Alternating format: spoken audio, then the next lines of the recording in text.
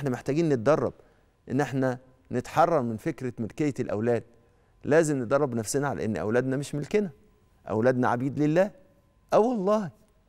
تخيل أنا محتاج إن إحنا نقول الكلام ده طول الوقت. يعني أنا بقول لبعض الناس إن هم يعملوا كده ورد. ولادي مش ملكي. أنا عبد لله وهم عبيد لله. محتاجين نقول الكلام ده طول الوقت.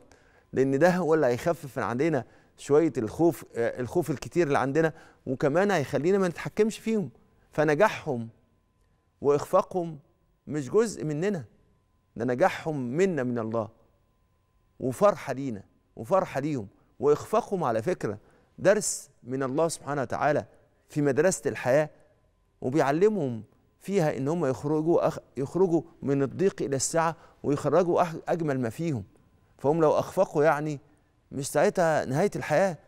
طب ما إحنا أخفقنا وعشنا إخفاقات جديدة كتيرة وخرجنا من ضيق شوية الأفكار اللي عندنا إلى إن الحياة واسعة وما كانتش نهاية العالم لما إحنا فشلنا.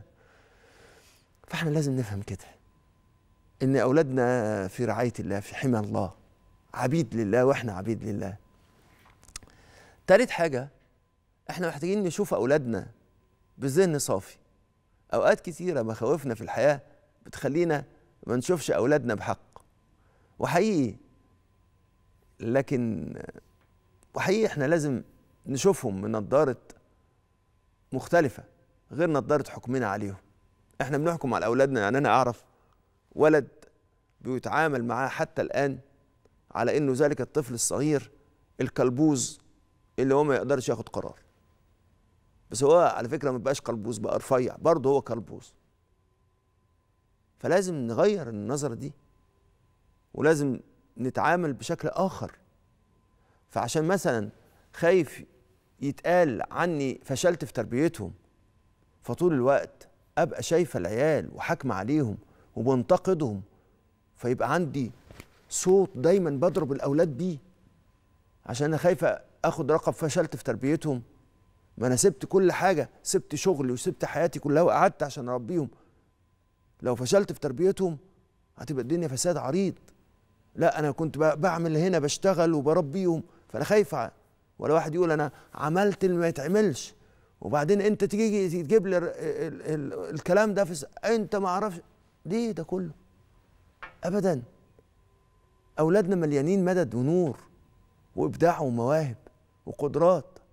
لسه كنت بتكلم مع حد بيتكلم عن هو بيقابل ناس عشان يوظفهم. فأنا أنا منبهر. أنا طول الوقت طول ما بشوف أولادنا طول ما بتعامل معاهم أنا بتعامل مع كنوز. الكنوز دي ممكن واحد يضيعها كلها يضيع البني آدم بالكنز اللي فيه. طول ما هو باصص عليه بنظرة ضيقة بالحكم اللي حكموا عليه. أقول لك حاجة إحنا محتاجين كل سنة أقول لك حاجة محتاجين كل شهر نرجع نبص لأولادنا تاني. عارفين ليه؟ والله. أنا أعرف ناس باصين لأولادهم فأولادهم حاسين إنهم بيتكلموا عن ابن خالتهم. وبيتعاملوا مع ابن خالتهم ما بيتعاملوش معاهم هم. إحنا لازم من وقت للتاني نغير أولادنا.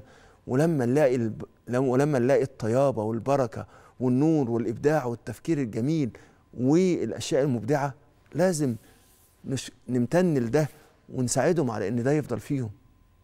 إحنا محتاجين حد بصير ومركز عشان يلاحظ ده ويحاول يخرجه مش عشان يردم عليه.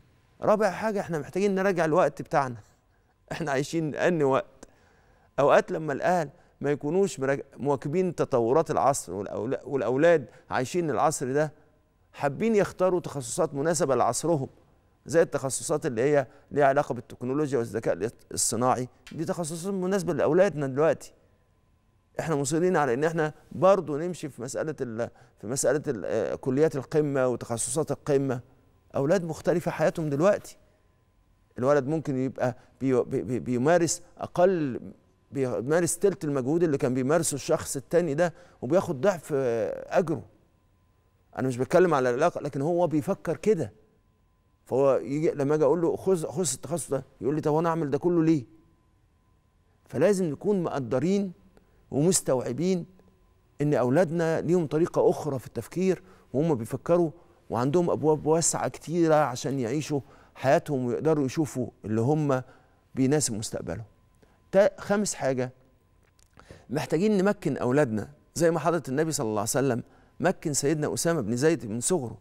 يعني إيه نمكنهم؟ يعني نديهم فرص إنهم يكبروا وندي لهم فرص إن هم يحسوا إن هم يقدروا يعملوا أشياء جميلة. مفيش مانع إن الأولاد يديروا يوم هم في يوم كده يديروا البيت. مفيش مانع إن أولادنا وإحنا بنتناقش يبقى هو اللي بيدير النقاش النقاش بينا. مفيش مانع إن أولادنا هم اللي يخططوا لنا سفرية من السفريات. ابتدوا الكلام ده بدري عشان يحسوا بالمسؤولية ويحسوا بالثقة. لما بنكنهم بنساعدهم إن هم يختاروا إيه الأصلح ليهم ويتحملوا مسؤولية اختياراتهم. يا سادة إحنا محتاجين جدا جدا جدا أولادنا يشوفوا نظرة إعجابنا بيهم. ونظرة مساندتنا ليهم في خمس نظرات لازم ننظرها لأولادنا. هو دول اللي هختم بيهم الكلام معاكم. لازم ولادنا يشوفوا نظرة إن إحنا بنحتضنهم وبنحتويهم وإن إحنا دي النظرة الأولى، النظرة الثانية لازم أولادنا يشوفوا نظرة مساندتنا ليهم وإن إحنا في ظهرهم، لازم أولادنا كمان يشوفوا في عينينا نظرة الفرح لما يعملوا حاجة حلوة، لازم كمان نديهم نظرة الوسع. آه، أسيبه يتحرك، لازم كمان أولادنا يشوفوا نظرة إن إحنا كلنا متعلقين بالله سبحانه وتعالى ونظرة الأمل في الله. لما ننظر لأولادنا النظرات الخمسة دول النظرات الخمسة دول هيوسعوا على أولادنا ويوسعوا علينا يخففوا عنا قلقنا وخوفنا ويفتحوا الباب لأولادنا عشان يدوقوا حلاوة مدد رب العالمين يا رب اجعلنا دائما من من الراشدين واجعلنا من حسن المرشدين لأولادنا في كل وقت وحين يا رب العالمين.